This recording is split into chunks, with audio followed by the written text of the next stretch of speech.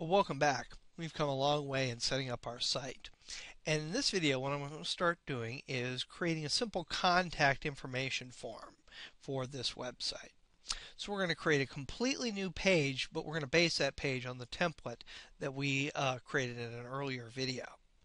So I'm going to go ahead and close my index page here, and I'm going to go to File, New. And you're going to see there's my site and there's my main template. And I'm going to go ahead and create that. I'm going to make sure that it says update page when the template changes. And I'll just click create there. And we have a new page to work with in our website. I'll go ahead and go to file and save. And I'm going to save this as contact.html. And I'm going to go ahead and type some information in here. Go and highlight that and go ahead and type contact us here.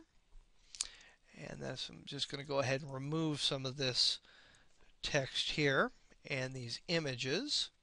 So we don't need those on this page. And type some information here. Thank you for your interest. Please send us comments using the form below.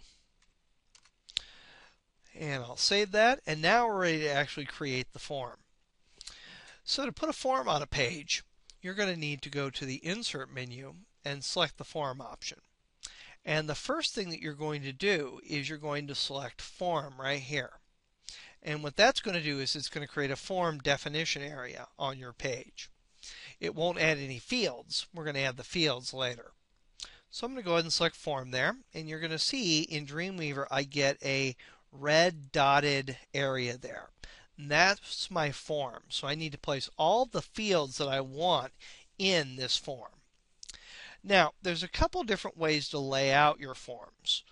You can uh, lay out your forms using a table or you can lay out your forms using a CSS. I'm assuming that you don't have very much experience with CSS in this class. So we're going to go ahead and lay out this form using a table. In the CSS videos, once you've taken and gone through the uh, basic CSS videos, we'll have a set of videos on laying out forms with CSS as opposed to laying them out with tables. But our form is basically going to have two columns and a multitude of rows. The first column is going to have the label for the actual field, and the second column is going to have the actual field that people type information into. And again, there are different ways to do this, so you'll see in other videos um, different, possibly better ways to lay this out. So I'm going to go ahead and go to Insert and Table, and I'm going to say that this is going to have two rows and two columns. I'm going to make the form take up 100% of the available space on the screen. I'm not going to place a border on it. I am going to, however, place a little bit of padding just to space things out. So I'm going to go ahead and do 5 pixels of padding and 0 pixels of spacing. In this case, it actually would not matter whether I did padding or spacing as 5 here. They'll do um, exactly the same thing. In other cases, it may matter though. This just happens to be a case where either would work. And I'm going to go ahead and click OK. And there is my table. Now I'm going to need more than two rows, but I can simply add those rows by continuing to type. So I'm going to go ahead here and type first name hit tab a couple times and then last name. And when I hit tab a couple times, you're going to see it brings me up an extra row for me to put information in. I'm going to go ahead and say phone, email, comments, and then I'm going to leave an extra row for my submit button right there. Now you can see my table structure right here. I'm going to go ahead and point at that dividing line in between these and I'm just going to go ahead and drag that on over. So it's a little bit more evenly spaced. I'll save my page and now I'm going to go ahead and click in the first row for first name. I'm going to go ahead and go to the insert button here and I'm going to select form and I want a text field and this is going to be for the most part the uh, largest used field that you're going to create. So I'll click text field there. I need to give it an ID, so the ID is going to be first name. I'm going to leave the label blank. Actually, I'm going to select no label from right here because we've created our label in our outside um, um, column, in our first column. And then I'm going to go ahead and click OK. And you'll see we placed a form field in there.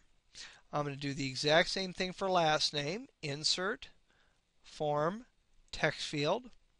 The ID is going to be last name. And I'm going to select no label tag. We'll do phone here. And that's going to be phone is going to be the ID and no label tag. And then we'll do email.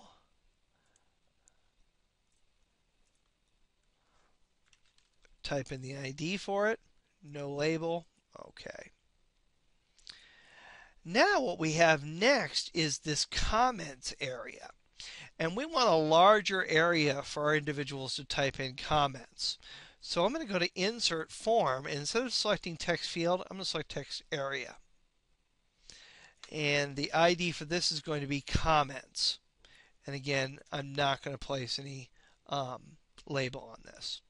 I'll click OK. And now you can see I have a Comments field. Finally, we're going to need to place a Submit button at the bottom for when people are finished with our form. So I'm going to go ahead here and go to Insert Form, and I'm going to select Button. And the ID of this is going to be Submit. And I won't put a label on it. You'll see the way that works. I'll click OK, and we now have a Submit button there. Now you can always go ahead and add um, more fields to this form. I'm going to go ahead and right click on my last um, field there. I'm going to select table and insert row. And that inserted a blank row there for me. And here I'm going to go ahead and click in that right hand column. I'm going to go to insert form and I want a checkbox. So I'm going to go ahead and click that. And the ID for this is going to be newsletter. And the label I'm going to go ahead and type out um, send me your monthly newsletter. And I'm going to say attach using the for attribute because I do want this to appear. I'll click OK. And there is my checkbox with the label attached to it. So we've got a nice form here set up. In our next video, we're going to go ahead and, um, and actually, you know what? This is really close to the bottom here. So what I'm going to go ahead and do is I'm going to click outside of my table and hit enter once just to give me a little bit more space there. And then I'll save that. What we're going to do in our next video is we're actually going to go in and hook up this form to a script so that we can actually receive the contact information in our email.